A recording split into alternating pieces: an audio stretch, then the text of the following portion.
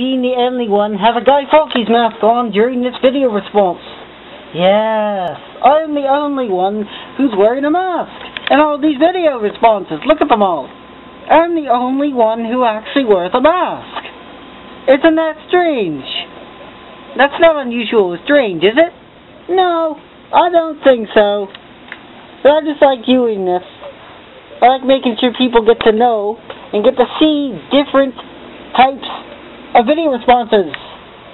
Not just of people's faces, but people wearing masks. It does count the difference, you know? Well, yeah.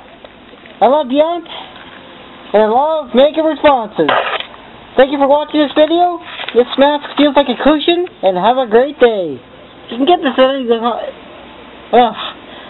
Let me rephrase that. You can get this mask at any costume shop in the world. Amazon or eBay, but fewer shipping charges.